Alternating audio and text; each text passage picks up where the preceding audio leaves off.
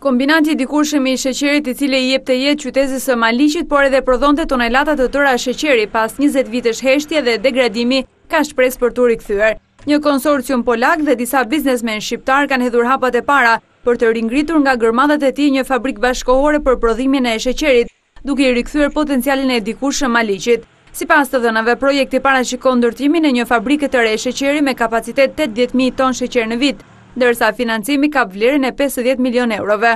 Jemi optimistë ndoshta për realizimin e një investimi që kap vlerën pesëdhjetë milionë euro, që do të punësojë në total brenda fabrikës, por dhe në fushë rreth njëzet mijë punëtorë. Shifra është e madhe, financimi është goxha ambicioz, ne me optimizëm mendojmë që ndoshta këtë radhë edhe ky kombinat do të fillojë të lëvizë.